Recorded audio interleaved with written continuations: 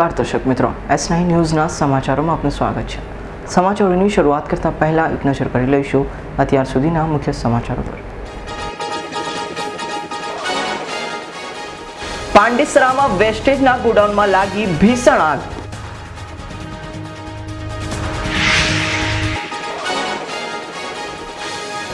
અને સિંગા હત્યા કેસના આરોપી દિવ્યેશ સાથે ઇન્દોર ગયેલા પંચમની પોલીસે ધરપકડ કરી.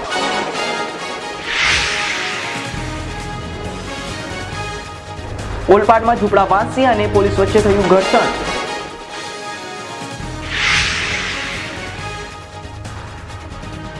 મોરબીથી પંદર વર્ષ અગાઉ ગુમ થયેલ મહિલાની ઘર વાપસી.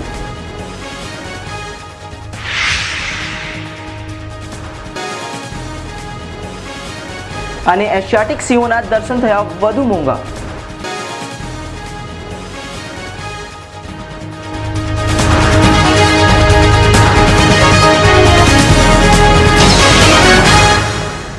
હવે સમાચારો વિસ્તારથી.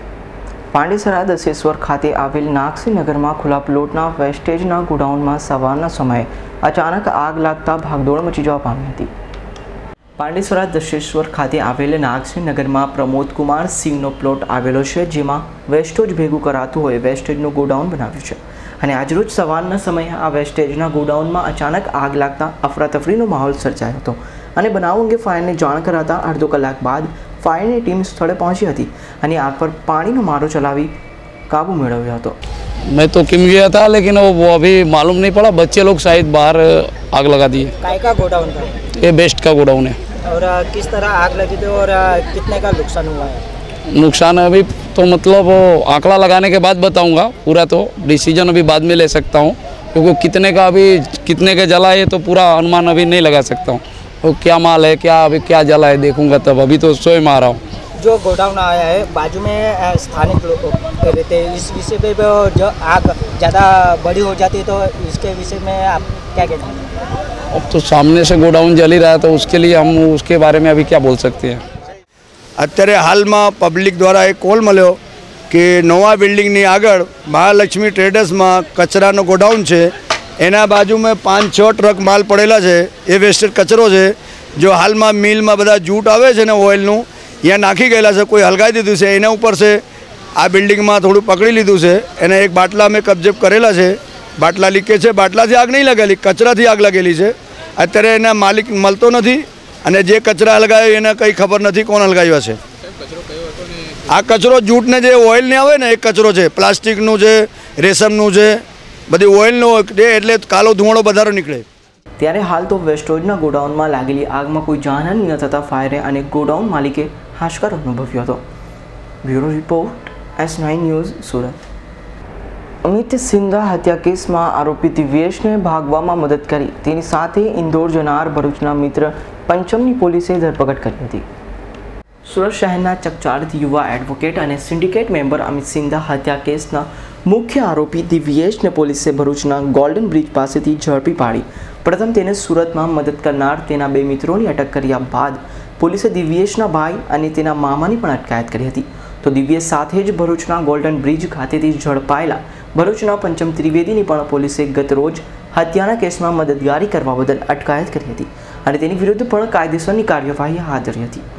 Bureau report S nine news Surat Surat નવી સિવિલ હોસ્પિટલ કેમ્પસમાં નર્સિંગ કોલેજની વિદ્યાર્થીનીઓ હોસ્ટેલમાં ગળે ફાંસો ખાઈ જીવન ટૂંકાવી લેવાના પ્રકરણમાં સત્તાધીશો સામે પગલાં લેવાની માંગણી સાથે હડતાળ પર ઉતરેલા વિદ્યાર્થીનીઓએ કેન્ડલ લાઇટ રેલી યોજી હતી સુરત નવી સિવિલ હોસ્પિટલ કેમ્પસમાં ચાલી.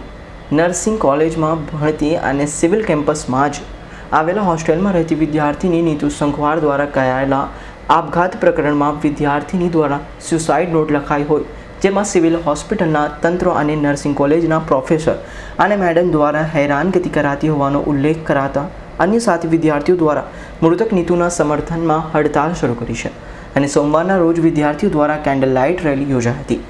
નવી સિવિલ હોસ્પિટલમાં હડતાળ પર ઉતરેલા તમામ વિદ્યાર્થીઓએ ચોવીસ કલાક માટે આંદોલન કરવાની જાહેરાત કરી છે.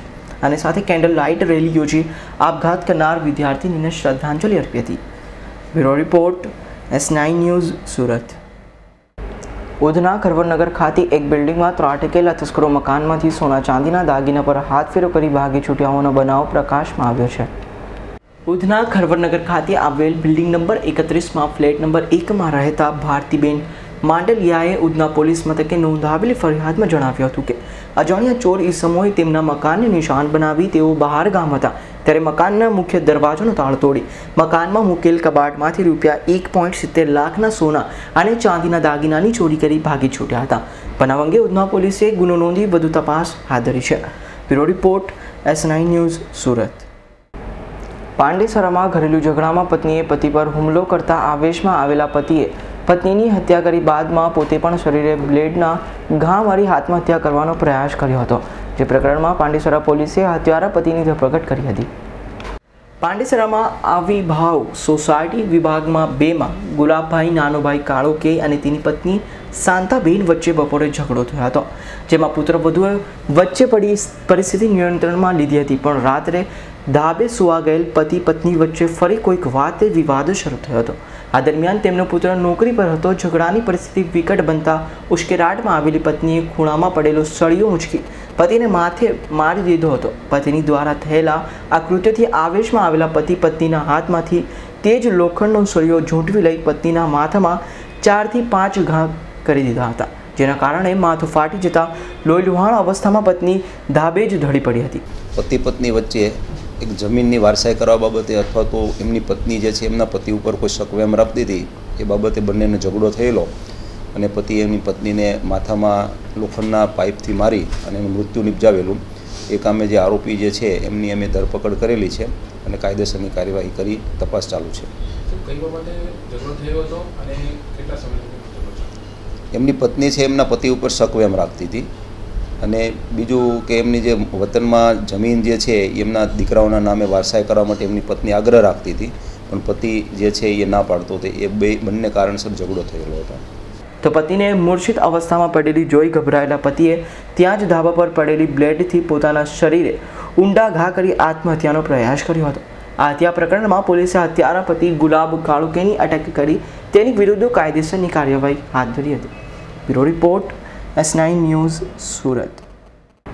Rander road નવી કોલેજની પાછળ આવેલ રાધાનગર સોસાયટીમાં ટવેરા કારમાં આવેલા રીઢા ચોરો એક મકાનમાંથી રોકડા ચોરી કર્યા બાદ અન્ય મકાનોમાં ચોરીનો પ્રયાસ કર્યો હોવાનો બનાવ પ્રકાશમાં આવ્યો છે. રાંદેર રોડ નવી કોલેજની પાછળ આવેલ રાધાનગર સોસાયટીમાં એક સફેદ કલરની ટવેરા કારમાં આવેલા ત્રણ અજાણ્યાઓએ સોસાયટીના કાંતિ ડાબેરિયાની બંધ મકાનમાંથી રોકડા રૂપિયા પચીસ હજારની ચોરી કર્યા બાદ બાજુના અન્ય ફ્લેટોના દરવાજા તોડી ચોરીનો પ્રયાસ કર્યો હતો. જોકે કાંઈ હાથ ન લાગ્યો હતો અને રીડા ફરી પરત કારમાં પ્લાન થઈ ગયા હતા. જોકે સોસાયટીમાં લગાડેલ સીસીટીવી કેમેરામાં તેવું કેદ થતાં પોલીસે તેના આધારે તપાસ હાથ ધરી છે. Bureau report, S nine news Surat. ઓલપાડમાં છેલ્લા ઘણા સમયથી સરકાર જગ્યામાં તાણી દેવાયેલા ઝૂંપડાની ડિમોલિશનની કામગીરી કર્યા બાદ વૈકલ્પિક વ્યવસ્થાની માંગ કમ્પાઉન્ડ વોલ બનાવવાની વાતે દબાણકર્તાઓને અને પોલીસ વચ્ચે ઘર્ષણ જોવા મળ્યું હતું. ઓલપાડ તાલુકા પંચાયતની સરકારી જગ્યામાં છેલ્લા ઘણા વર્ષોથી ગેરકાયદે કબજો કરી વસવાટ કરાતો હોય ફરિયાદ કરાતા ટીડીઓ દ્વારા ઓલપાડ પોલીસ બંદોબસ્ત વચ્ચે ડિમોલિશનની કામગીરી કરવામાં આવી હતી. જે બાદ વૈકલ્પિક વ્યવસ્થાની માંગણી વચ્ચે કોંગ્રેસ પક્ષ દ્વારા રેલી આવેદન સહિતના આંદોલનો પણ થયા. જોકે હજુ સુધી નિરાધાર બનેલા હલપતિઓની વહારે તંત્ર આવ્યું નથી.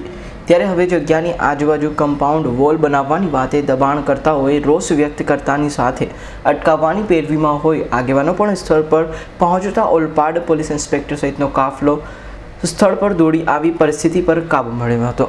જોકે થોડા સમય સુધી ઘર્ષણ સર્જાયા બાદ મેટ્રિક કોર્ટ હસ્તક ચાલુ હોય પોલીસ વિલા મોડે પરત ફરી હતી.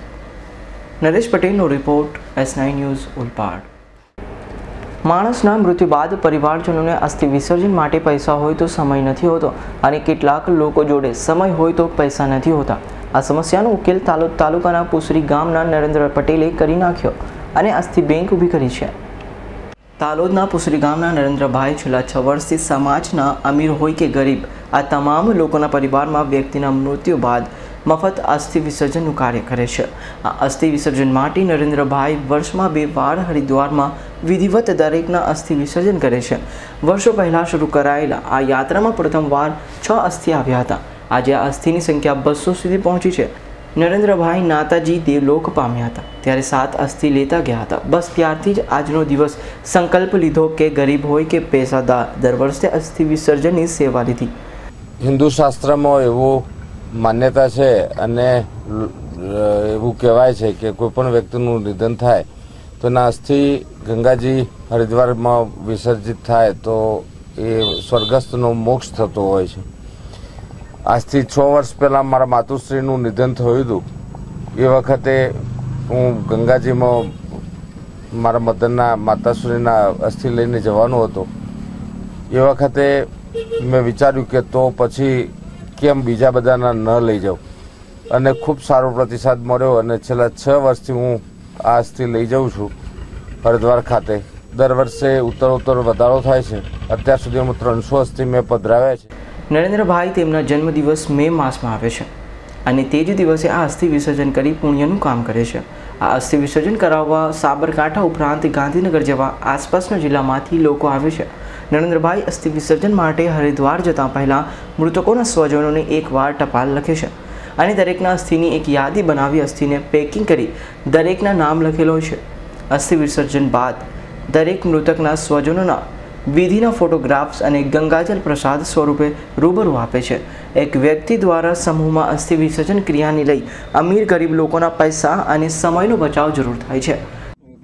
હા, અમારા સમાજમાં ગરીબ પરિસ્થિતિ વધારે હોવાથી આ અસ્થિ બેગ લઈને કોઈ અડધીવાર જઈ શકતો નથી. અને આ લઈ જવા માટે કંઈનો મોટો ખર્ચો આવે છે. એ અમુક સામાજિક અમારે જે નબળા માણસો છે, જેના પર આર્થિક પરિસ્થિતિ છે, એ માણસોને પછી અમે જાહેરાત કરી છે. અને અમારી પુંસરી ગામમાં અસ્થિ બેગ ખોલેલી છે. એમાં એ લોકોએ અસ્થિ બેગમાં અસ્થિ લાવી અને જમા કરાવે છે. અમારા ગામના નરેન્દ્રભાઈ સાહેબે વર્ષમાં બે વખત અર્ધવાર જાય છે અને ગંગાજીમાં પધરાવી અને આ અસ્થિને તે પધરાવીને પછી ત્યાંથી પ્રસાદ અને ફોટો સાથે દરેક વ્યક્તિને પહોંચાડે છે. એમાંથી અમારા સમાજમાંથી પણ ઘણા લોકોએ લાભ લીધેલ છે. અને અમે જાહેરાત કરેલી આજુબાજુના ગામડામાં તે લગભગ બસો, હો, બસો, આ વખતે બસો અઢીસો નંગ લગભગ અમારી અસ્થિનો પ્રાપ્ત થયેલ છે. સ્મશાન અને અસ્થિ જોઈ લોકો દૂર ભાગતા હોય છે, પરંતુ નરેન્દ્રભાઈ પોતાના સ્વજન જી જેમ આ કાર્યને ગંગા નદીના કિનારે જઈ લોકોના દુઃખમાં સહભાગી થઈ રહ્યા છે. Deepak Singh રાઠોડનો report S nine news Himmatnagar. પોતાના ઘરનું સ્વજન જ્યારે પરિવારથી વિખૂટું પડી જાય અને સંજોગો વર્ષે તે પંદર વર્ષના લાંબા અંતરાલ બાદ ઘેર પરત ફરે, ત્યારે કેવા લાગણીસભર દ્રશ્યો સર્જાતા હોય છે, તે તો સગી આંખે જોનાર જ સમજી શકે છે. પોતાના ઘરનું સ્વજન જ્યારે પરિવારથી વિખૂટું પડી જાય ને સંજોગો વાસ્તે પંદર વર્ષના લાંબા અંતરાલ બાદ ઘેર પરત ફરે ત્યારે કેવા લાગણીસભર દ્રશ્યો સર્જાતા હોય છે, તે તો સગી આંખે જોનાર જ સમજી શકે. દસાડા તાલુકાના વતની અને વીરગામમાં પરણેલા પટેલ પરિણીતા માનસિક અસ્થિર હોવાને કારણે પંદર વર્ષથી ઘરેથી ચાલ્યા ગયા હતા. જે મોરબીના લજાથી નજીકથી મળી આવવાની જાણ થતાં એકસો એક્યાસી મહિલા હેલ્પલાઇનની તેના પરિવાર સાથે પુનઃ મિલન કરાવ્યું હતું. તો જોઈએ આવો જ એક અનોખો કિસ્સો આ વિશેષ અહેવાલમાં, જ્યારે પંદર વર્ષ બાદ એક માનસિક અસ્થિર મહિલા ઘરે પરત ફરી ત્યારે પરિવારના સભ્યો કેવા આનંદમાં આવી ગયા હતા. મૂળ સુરેન્દ્રનગર જિલ્લાના દસાડા તાલુકાના મોટા ઉભઢા ગામના વતની સુભદ્રાબેન પટેલ ના લગ્ન ત્રીસ વર્ષ પહેલાં વિરમગામ તાલુકાના આળીઆળામાં હરિભાઈ પટેલ સાથે થયા હતા અને સુભદ્રાબેન હરિભાઈ પટેલ બે હજાર એકમાં આવેલા ભૂકંપને કારણે તેની મનોસ્થિતિ વિચલિત થવા પામી હતી અને માનસિક અસ્થિર હાલતમાં તે ઘરેથી કોઈને કહ્યા વગર જ ચાલ્યા ગયા હતા. અને પંદર વર્ષથી ગુમસુદા હતા તો ધોરણ સાત પાસ સુભદ્રાબેનને બે દીકરીઓ પણ હોવાનું જણાવ્યું છે. લગ્ન પણ માતાની ગેરહાજરીમાં જ કરવાની ફરજ પડી હતી, જેમાં તેની દીકરી ડિમ્પલબેન બલવંત પટેલના વિજુવાડા અને લત્તાબેન રોહિતભાઈ પટેલના વિજુવાડા તાલુકા માંડલ ગામે લગ્ન ત્રણ ચાર વર્ષ પહેલાં કરવામાં આવ્યા હતા. બે હજાર એકમાં ભૂકંપ બાદ ગુમ થયેલ સુભદ્રાબેન પટેલ માનસિક સ્થિર અવસ્થામાં ઠેર ઠેર કરીને ટંકારા તાલુકાના લજાઈ ગામમાં આવીને વસ્યા હતા. જે બાબતની લજાઈના આશા વર્કરબેન દયાબેન મસૂદને જાણ થવા પામી હતી અને એકસો એક્યાસી મહિલા હેલ્પલાઇનની ટીમ જ્યારે ટ્રેનિંગ આપવા પહોંચી ત્યારે હેલ્પલાઇનના કાઉન્સેલર મીનાબેન નાખવા પોલીસ હેડ કોન્સ્ટેબલ વિશાલીબેન કોન્સ્ટેબલને આ અંગે માહિતગાર કરવામાં આવ્યા હતા. જેના પગલે એકસો એક્યાસી ટીમના મીનાબેન નાખવાય માનસિક અસ્થિર એવા સુભદ્રાબેન પટેલના ભાઈ રણછોડ પટેલનો સંપર્ક સાધીને મોરબી આવવા જલાવીને મોરબી બી ડિવિઝન નજીક આવા આ ગુમસુદા પટેલ મહિલાનું તેના પરિવારજનો સાથે પંદર વર્ષે મિલન કરાવ્યું હતું. અને આ મિલન વેળાએ પરિવારજનોનો જાવ વિભોર બન્યા હતા. ગુમસુદા માનસિક અસ્થિર મહિલાના ભાઈ રણછોડ પટેલે જણાવ્યું હતું કે પંદર વર્ષ પહેલાં ચાલ્યા ગયા બાદ તેની બહેન અંગે કોઈ માહિતી મળી ન હતી. ત્યારે અમે તેઓ પરત મળી આવશે કે જીવિત હશે તેવી આશા છોડી દીધી હતી. જોકે મિલન પ્રસંગે ભાવ વિભાગ બનીને ઈશ્વર તથા એકસો એક્યાસીની ટીમનો આભાર વ્યક્ત કર્યો હતો. સુભદ્રાબેન પાંચ વર્ષ પહેલાં ઘરેથી નીકળ્યા બાદ એ ક્યાં ક્યાં ગયા અને અને લજાઈ કેવી રીતે પહોંચાડ્યા તે જાણી શકાયું નથી. કારણ કે સુભદ્રાબેનનો પરિવાર સાથે મિલન તો થયું, પરંતુ તે હજુ કંઈ બોલી નથી અને તેને શું કહ્યું અને ક્યાં ક્યાં તે ગયા પણ તે યાદ ન હોવાનું જણાવ્યું હતું.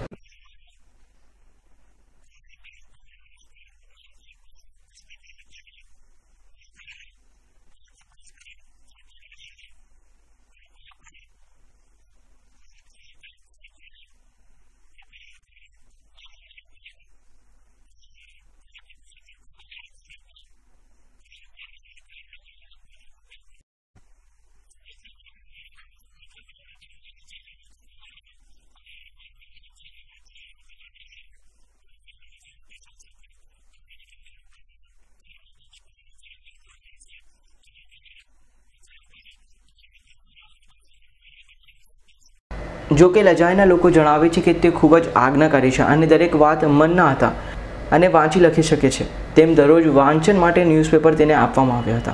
રવિ મોટવાણીનો report, S nine news, Morbi. Asiatic સિંહોના અંતિમ ઘર ગણાતા ગુજરાતના ગીરમાં સિંહોની સંખ્યા વધી રહી છે. પરંતુ પ્રવાસીઓમાં કચવાટ ફેલાયો છે. જી હા, સાસણ દર્શન મોંઘું થતાં પ્રવાસીઓ લાલગુમ થયા છે. સિંહોના અંતિમ ઘર ગણાતા સાસણ ગીર દેશ અને દુનિયાના પ્રવાસીઓ માટે આકર્ષણનું કેન્દ્ર બન્યું છે. દર વર્ષ પાંચ લાખથી વધારે પ્રવાસી સાસણની મુલાકાત લઈ રહ્યા છે. તો બીજી તરફ સિંહોની સંખ્યામાં પણ ઘરખમ વધારો નોંધાયો છે. જોકે હવે વિવિધ કારણોને લઈ પ્રવાસીઓની સંખ્યામાં સામાન્ય ઘટાડો જોવા મળી રહ્યો છે. જેનું એક કારણ ગીરમાં પડી રહેલી અસહ્ય ગરમી અને તાપ પણ જવાબદાર છે. જંગલમાં સિંહ દર્શને જતા પ્રવાસીઓ જંગલમાં સિંહ દર્શને જતા પ્રવાસીઓ ધોમધકતા તાપથી ત્રાહિમામ પોકારી ઉઠ્યા છે. તાપ તો છે જ. પિસ્તાલીસ ડિગ્રી જેવું લાગે અત્યારે. અત્યારે માન્યો કે અત્યારે સાડા અગિયાર થયા છે. છતાં ગરમીના ટૂંકમાં નીતરી જાય એટલો તાપ છે. જંગલમાં સિંહ દર્શનમાં અમે ગયા હતા લગભગ માન્યો કે સાડા નવ વાગે. ત્યાં પણ ફૂલ તડકો છે. પાણીની કોઈ સુવિધા નથી. જંગલમાં લગભગ ઝાડવા બધા ઉકાઈ ગયા છે. એટલે અઘરું થઈ જાય છે. એવું એવું ન લાગે કે આપણે અહીંયા ખર્ચો કર્યો, એ વસૂલ થાય એવું નથી લાગતું. ગત વર્ષની તુલનાએ ઉનાળાના વેકેશનમાં આવનારા પ્રવાસીઓની તુલનાએ આ વર્ષ પ્રવાસીઓ સાસણગીર આવવાનું ટાળી રહ્યા છે, જેની પાછળ ગીરમાં ગેરકાયદે પ્રવાસન પ્રવૃત્તિને લઈ હાઈકોર્ટ દ્વારા સીલ કરાયેલી હોટલો પણ જવાબદાર છે. સાસણ ગીર થોડા સમય પહેલાં જ પચાસથી વધારે ગેરકાનૂની હોટલ અને રેસ્ટોરન્ટને સીલ કરાયા છે, જેના કારણે પ્રવાસીઓને ડર છે કે સાસણમાં રહેવાની સુવિધા નહીં મળે તો બીજી તરફ સિંહ સદન ખાતે આવેલા સરકારી ગેસ્ટ હાઉસના ભાવ પણ બમણા કરી દેવાતા પ્રવાસીઓ લાલઘુમ થયા છે. સાસણ સિંહ સદનના સરકારી ગેસ્ટ હાઉસમાં પહેલા એસી રૂમના પંદરસો વસૂલાતા જેના ભાવ વધારી ત્રણ હજાર કરાયો છે. તો બમણા કરી દેવાતા પ્રવાસીઓ લાલઘૂમ થયા છે.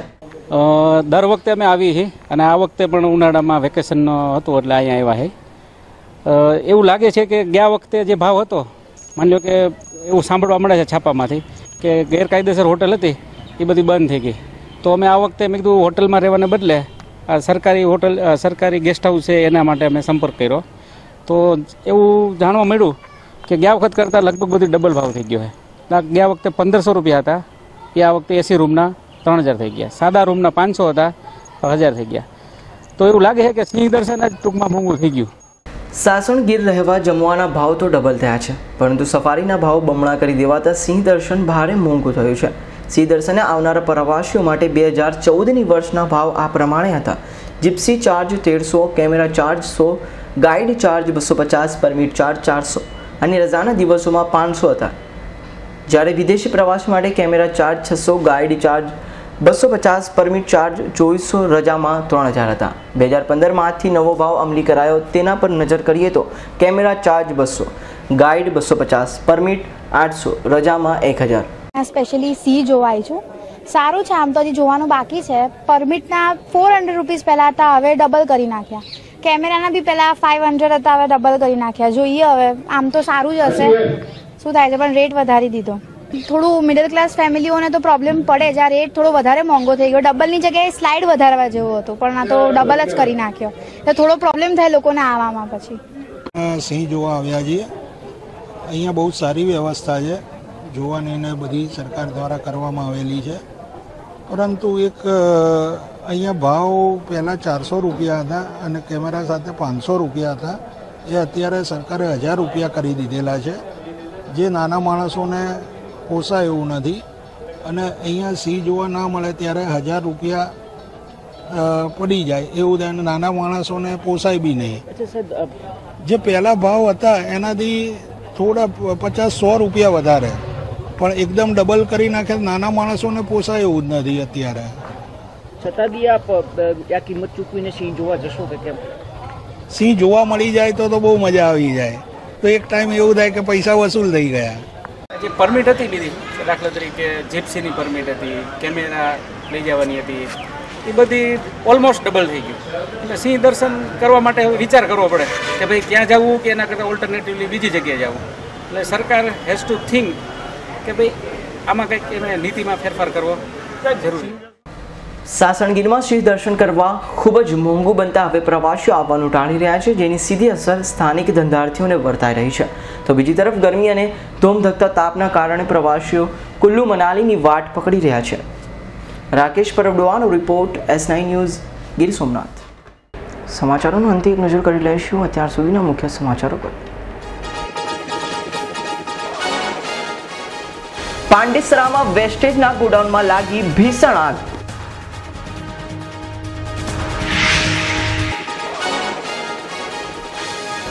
અને સિંગા હત્યા કેસના આરોપી દિવ્યેશ સાથે ઇન્દોર ગયેલા પંચમની પોલીસે ધરપકડ કરી.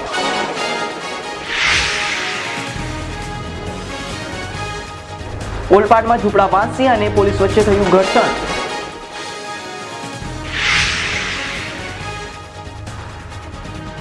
મોરબીથી પંદર વર્ષ અગાઉ ગુમ થયેલ મહિલાની ઘર વાપસી.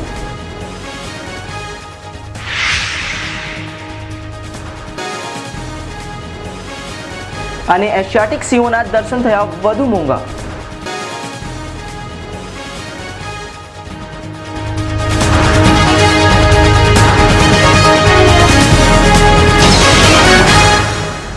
તો આ હતા એસ નાઇન ન્યૂઝના અત્યાર સુધીના મુખ્ય સમાચારો. વધુ સમાચારો સાથે ફરી મળીશું. ત્યાં સુધી જોતા રહેશો. એસ નાઇન ન્યૂઝ નમસ્કાર.